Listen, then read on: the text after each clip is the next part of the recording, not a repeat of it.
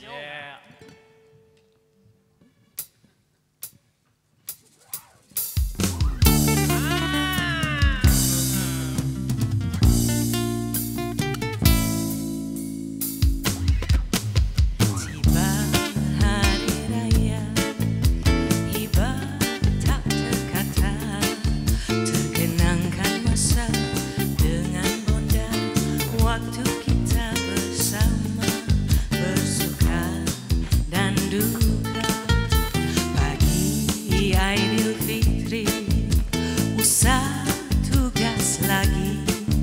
Setahun lama membantu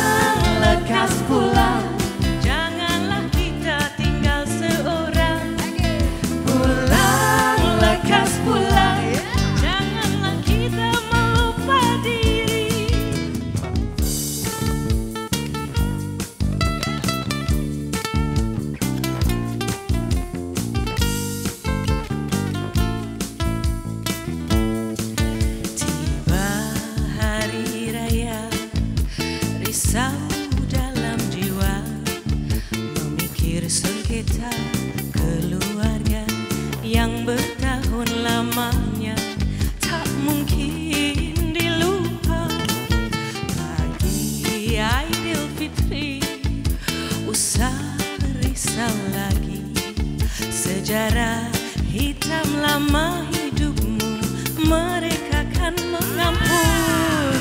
Pulang lekas pulang janganlah kita menyesal.